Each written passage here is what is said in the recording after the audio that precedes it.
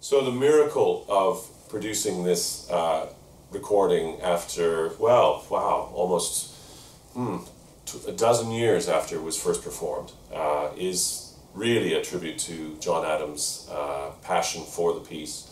Uh, he's conducting the uh, wonderful BBC Symphony. Uh, we have a, a, a, wonderful group of chorus people, the, the wonderful BBC singers who uh, who nailed it actually in the recording sessions with with uh, with great passion and great precision.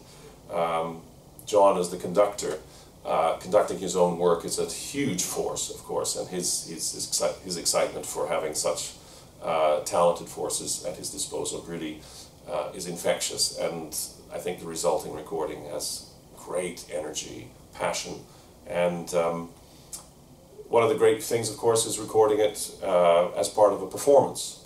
And the performance angle is always great. You get the energy of the connection with an audience, um, the instantaneous sort of uh, passion for, um, uh, for the story as it's happening.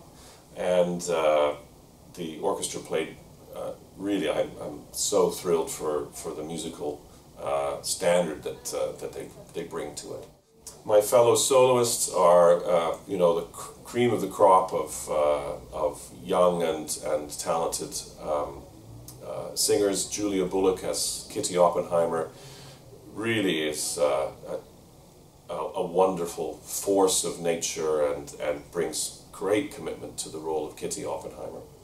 Uh, Brindley Sherratt as General Groves, gravitas, gorgeous voice, and, uh, you know, a, a tremendous tremendous um, uh, commitment to the role.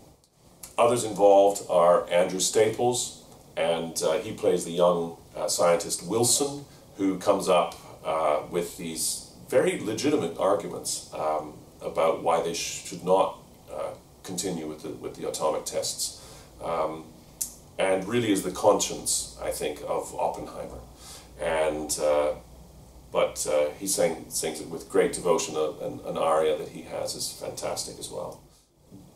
Jennifer Johnston as the uh, wonderful uh, uh First Nations uh, woman Pasqualita, who sings really a, very most wonderful uh, Tewa lullaby, bringing really the conflict of the peacefulness and the, the fragile nature of, of nature um, from the First Nations perspective, but uh, Jennifer's wonderful, full and glorious voice really adds a huge charm to, to the, and to the mm, poignancy, I'd say, of, uh, of the perspective of, of the Tewa Indian for, uh, for what's happening in their desert, their sacred spot.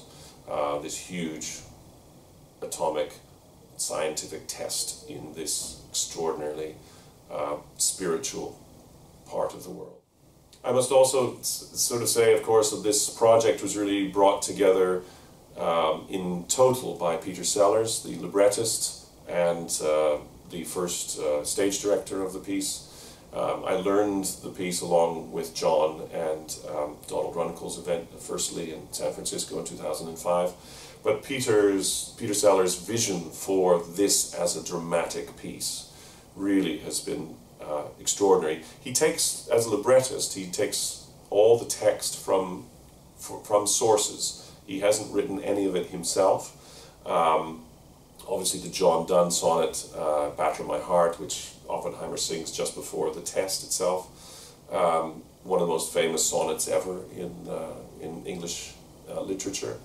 Um, but then uses uh, Muriel Rukeyser for the voice of of Kitty Oppenheimer, and then um, contemporary accounts and dialogues that uh, that were used by the um, characters involved. And so it's absolute direct speech. So what we're singing is what those characters actually said at the time. So John's music is putting great mm, support and irony and uh, and placement uh, for these conflicting emotions and passions and uh, really as a, as a totality this is a huge piece of, um, of contemporary art. I, of course I'm thrilled that uh, Nonesuch uh, should bring such a cast and, and musical team together. And um, I think the result really respects the work. It, it is a thrill that it's the first formal CD recording uh, conducted by the composer. And uh, I think the fact that we're doing it 12 years after the premiere serves that it's absolutely an opera for our time and for the future.